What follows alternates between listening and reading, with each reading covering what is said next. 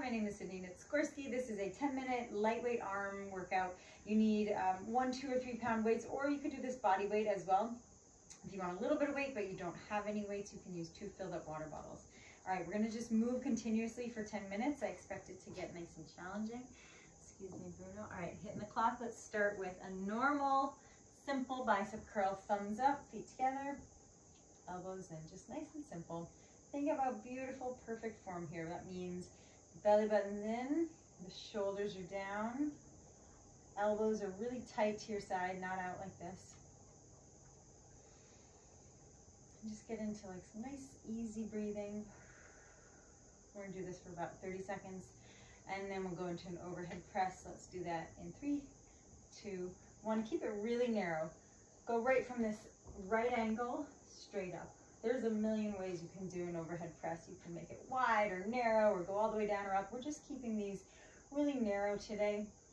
And then we'll combine these two exercises, the curl and the overhead press before we move on. I love, love muscular endurance work like this. It's not muscular strength in the sense of we do eight reps and then take a rest. We're moving for 10 minutes continuous. All right, let's go bicep curl, overhead press and I think there are so many applications to our daily life with muscular endurance, repeated tasks that we do over and over without weight or without much weight. Keep going. In a moment, we're gonna just keep going, but stand on one foot. We might as well get a little balance work in while we're doing this. All right, we're gonna keep going, but stand on your right foot. So I hope there's a little shoulder heat building for you. If not, that's okay. I know we'll get there. We're uh, just about almost at two minutes. Not quite there yet. On the next one, you're going to stop at a right angle. Okay, so right here, switch feet. Thumbs are still facing up. We're going to go out and then in. We'll play with our feet. We'll do one leg for a bunch of this, then put both feet down and then come back to one leg. Again, depress your shoulders. So if you feel this happening, either be really conscious to pull your shoulders down or drop your weight so that you can do it properly. All right, keep going with the arms. Place both feet down. Like I said, we'll get back to that one foot in a moment. Flip the palms facing the ceiling or the sky, wherever you are. I hope you're outside. That's my absolute favorite way to work out. I'm on my beautiful porch, kind of outside. Here in New York, we have like another month or two where it's comfortable and then winter. All right, from here, extend your arms out and then pull them back in, out, and in. We're gonna go about 30 seconds and then we'll combine those two. Think about your shoulders trying, I'm sorry, your elbows trying to touch behind you. They're not going to. I'm sure somebody who's hyper flexible could. Mine, I don't know, maybe like 10 inches apart. But I feel this a lot in my shoulder blades which is what we're going for. All right, let's combine these. Let's go thumbs up, extend out, bring it in. Pinching the whole time. I know, I'm like a broken record, but as we get tired, sort of forget about proper form. So we're working on scapula here. We've done biceps. We must do some tricep work keep our body even. We'll do some chest work as well. Front and back. The more even that we are, the less chance we have of becoming injured. Okay, from here overhead, start to drop for an overhead tricep extension. We'll get about 30 seconds. Let's go back to that one foot. Choose a foot, either one. We'll go 30 per side. So here, I could feel I was just getting like a little relaxed. Clamp the elbows in, lift the chin, And if you have to slow it down, slow it down. We've got another 10 seconds before we switch legs. We're just gonna keep doing this though with the triceps because we need volume in order to make this exhausting. By volume, I mean a certain number of repetitions. Switch legs. Now I'm starting to feel it. It takes a good amount. I don't know, maybe 50 or so. Maybe it's 20. Depends on the person, it depends on the day, depends on what you've done. All right, keep going. I'm uh, dropping my head to look at my stopwatch, but I want your head to be up. Elbows in, chin up. Ooh, all right, both feet down. Bring it to a right angle. Open, squeeze the scapula, close and push your forearms into each other. Big inhale, exhale and squeeze. Ooh, I got all sorts of things burning. We're almost halfway. Oh no, we are five minutes, five seconds. We're just over halfway. After this, we'll dip forward for a, first we're gonna do a combination of triceps and what we're doing right now. So it's gonna look like this. All the way overhead, extension, come back down, open, close, up. On that way up, you might lose um, your connection a little bit. I mean, there's only so far you can go with your forearms together. But just do your best to keep it narrow. When we do the rear raise, I'm going to give you an option to go on one foot. Let's do five more of these. Oops, I forgot my tricep extension.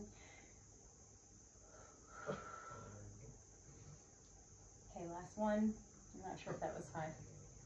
Pitch forward, arms out to the side. So flat, flat back here. If you're feeling nice and stable, you're gonna lift one leg. We'll do each leg for about 20 seconds. Slow it down when you have to. I've done videos before where Bruno, my little puppy, has taken my stopwatch and I had to redo it. In five seconds, we're gonna switch legs. Go for it, switch legs. And since we're switching, might as well switch the arm position as well. Let's do palms out. Like I said, slow it down when you have to. I almost lost my balance there, so I just kind of stop everything until I have it back.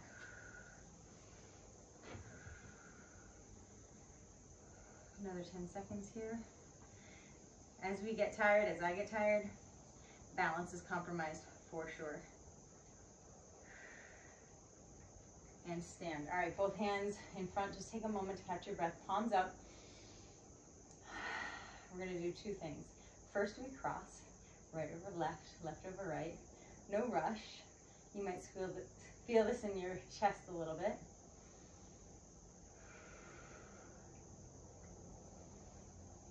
And then we're gonna make circles. So tap the dumbbells at the bottom, tap them at the top. Bottom, top. We'll alternate these two for the next minute or so. Every 20 seconds we'll switch. With small variations. So back to the crosses, this time knuckles up, crossover. A little faster. Sometimes speeding it up helps because you can't think about it quite as much. And now with these circles, make them bigger.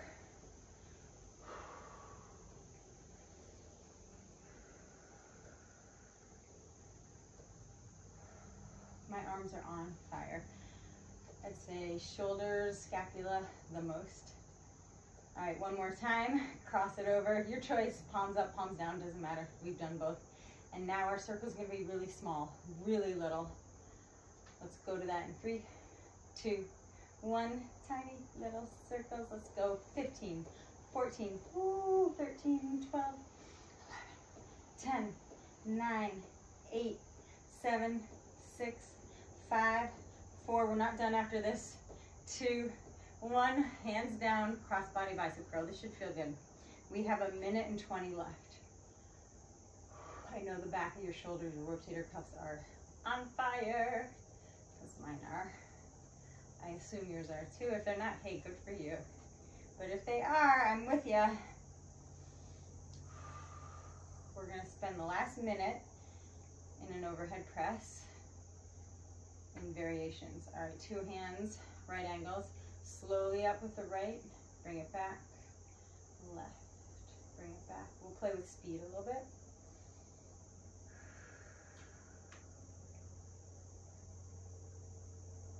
And now same slow speed, but together. When you come down, pinch. You can come a little bit lower with those elbows all the way up. And pinch. All the way up. And pinch. All the way up. 30 seconds, my friends. All right, for the last 20, starting now, we go fast, up, up. This is how we end, 20 seconds of this. If for some reason you wanna bring it narrow, it's fine by me. I kinda like it wider right now.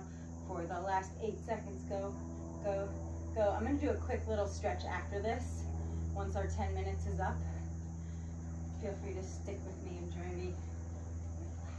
All right, if you want, put your weights down. Let's just do a quick shoulder stretch. Bring one arm across the body.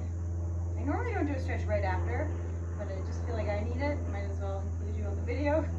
Other side. Bring one palm out, pull it back. Kind of play around with where it is in space. Other side. tricep overhead.